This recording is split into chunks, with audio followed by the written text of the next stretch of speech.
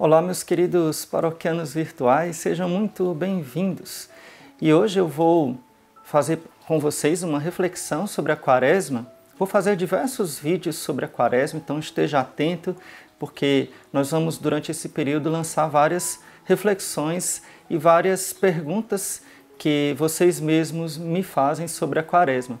Mas hoje eu queria fazer uma, um apanhado geral respondendo a seguinte questão quais são as normas que o leigo deve viver na quaresma? O que é que pode e o que é que não pode fazer na quaresma? Essa pergunta é para mim é um pouco estranha, né? Como se houvesse, por exemplo, uma lista de coisas que a igreja obriga a que se faça na quaresma, né? E eu respondi, aliás, eu recebi algumas perguntas que eu queria até mostrar para vocês, algumas perguntas que mostram esse desejo de muitos leigos, talvez seja a sua pergunta, esteja aqui nesta lista, de conhecer, de saber e ao mesmo tempo informações erradas, informações trocadas, é, preconceitos né, e, e, coisas estranhas que na verdade nunca existiram, não existem. Então eu já recebi as seguintes perguntas sobre as normas para se viver a quaresma. Por exemplo, pode dormir durante o jejum? Então, alguém me perguntou, não só uma pessoa, mas várias pessoas me perguntaram se durante o tempo do jejum eu poderia simplesmente dormir.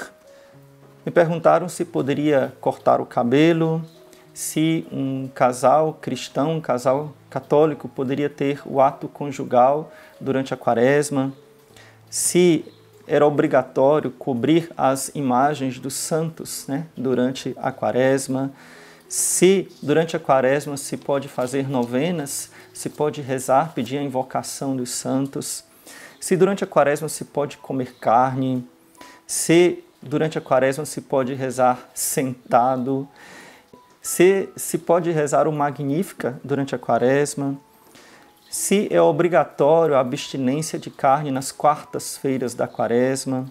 E essa aqui que eu achei a mais engraçada, se pode comer pipoca e salgadinho na quaresma? Talvez tenha sido uma criança né, que fez essa pergunta para mim, não sei.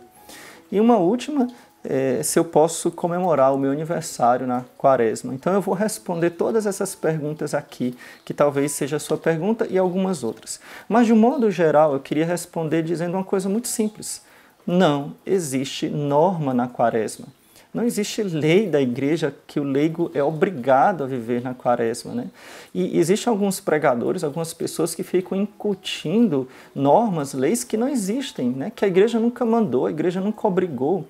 Eu já falei em outro vídeo, quero que depois você veja, sobre o jejum e abstinência, o que significa fazer jejum e o que significa fazer abstinência. São duas coisas diferentes. Né? Então, preste atenção, depois assiste esse vídeo que é muito importante. Mas existe uma norma geral da igreja, na verdade, uma orientação, um conselho geral da igreja, que é viver os 40 dias em mortificação, em penitência, caminhando na oração, caminhando no sacrifício, caminhando na caridade. Então, fiz outro vídeo também muito importante sobre os três pilares da quaresma, que são a oração, a penitência e a caridade. Mas essas são orientações gerais, são, como eu disse, pilares, são caminhos da quaresma. Não existe regra, não existe um monte de normas, né?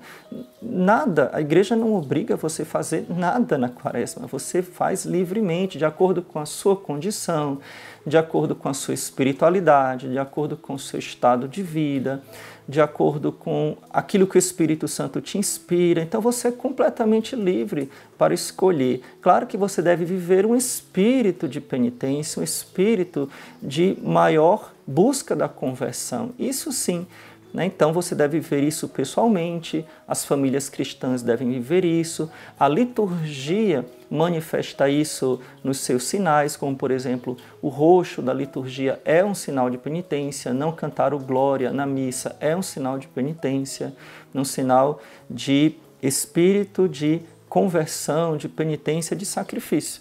mas não existe uma norma. Então, por exemplo, essa daqui que me perguntaram muitas vezes, né? Eu posso dormir enquanto eu estou fazendo jejum?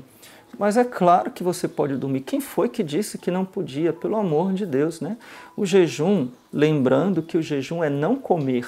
Então, a igreja só obriga o jejum quarta-feira de cinzas e sexta-feira santa, mas você pode fazer jejum todo dia se você quiser. Né? Mas você faz porque você quer, não porque a igreja está obrigando. Então, o jejum é não comer.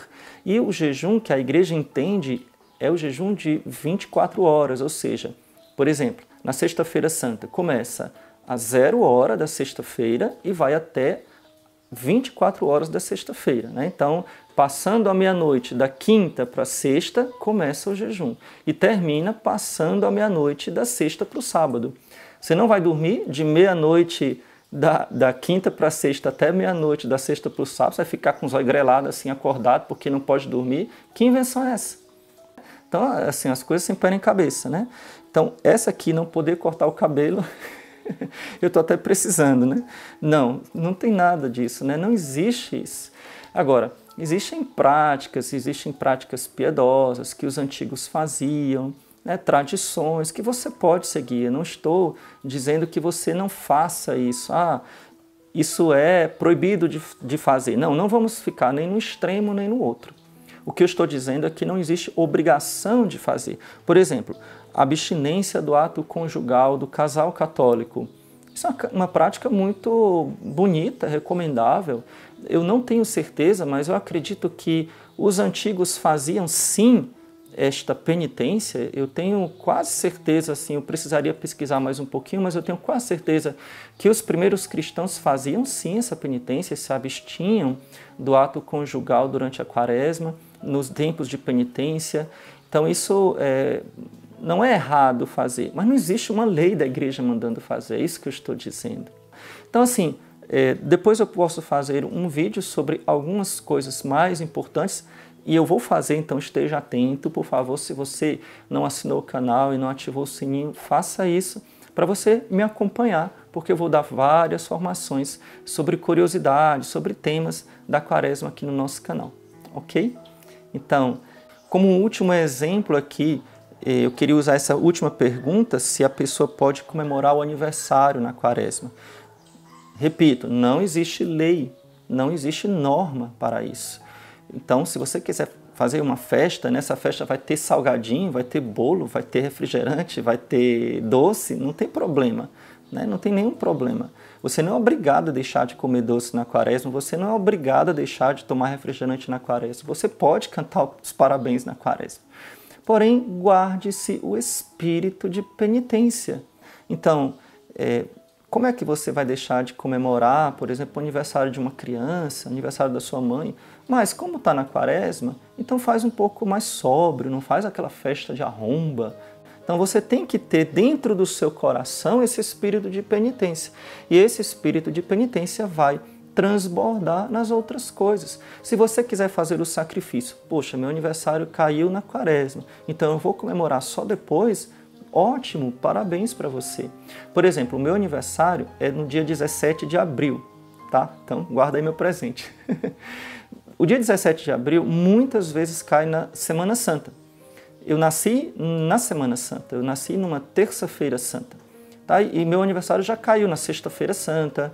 É claro que eu não vou fazer aniversário na sexta-feira santa. É claro que eu não vou comemorar com bolo na Semana Santa meu aniversário, né? Que é a semana mais solene, mais importante do ano. Então, quando meu aniversário cai na Semana Santa, eu comemoro na outra semana, que é a Páscoa. Qual é o problema? Então, dentro do espírito da penitência, da quaresma, cada um faça aquilo que acha mais conveniente, ok? Então, não se esqueça de deixar o seu joinha compartilhar esse vídeo para as pessoas que têm dúvidas. E se você tem outras dúvidas, coloca nos comentários que eu vou fazer um vídeo respondendo as suas dúvidas. Deus te abençoe. Louvado seja nosso Senhor Jesus Cristo, para sempre seja louvado e sua mãe Maria Santíssima.